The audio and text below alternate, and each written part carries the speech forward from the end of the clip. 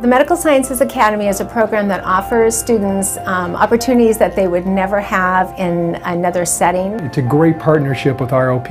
And basically what it is, it's offering a lot of pathways for students who are interested in medical science. These are students that may want to go into the healthcare field, they may want to go into public service, firefighting. I go to Fullerton College and I'm a nursing major and none of that would have been possible if it wasn't for this academy.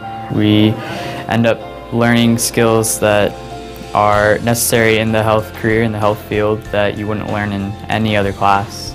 We start with the Medical Careers 1 class.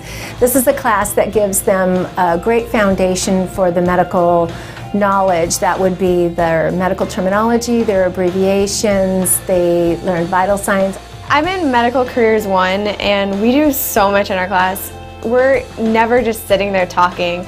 We're always either doing worksheets or learning skills. I've learned many skills, specifically skills that get to the medical field. I've learned vital signs, I've learned CPR, I've learned first aid.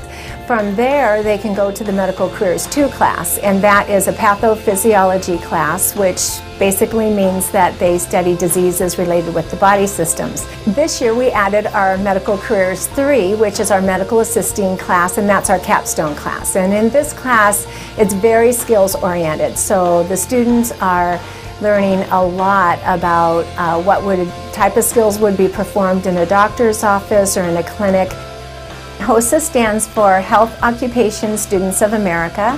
Um, it's a wonderful organization that allows the students that are interested in healthcare to compete. Uh, I got elected as the state vice president and that's really opened a huge amount of doors for myself. What's wonderful also about this organization is that it really teaches them about professionalism. The environment in the class is very fun and upbeat. We're serious at times, but we always make sure to have fun with what we're doing. It's really great working with the other students because we're all very enthusiastic about the class. We really enjoy doing what we're doing and we always keep it professional.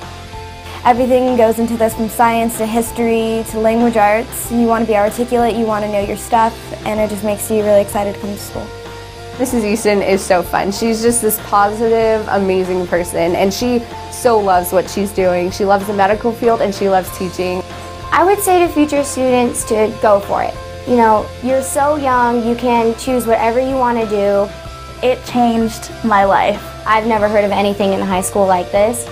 And I just want to say thank you, Miss Easton, for the best two years of my life. Medical Sciences Academy is the heartbeat of Esperanza.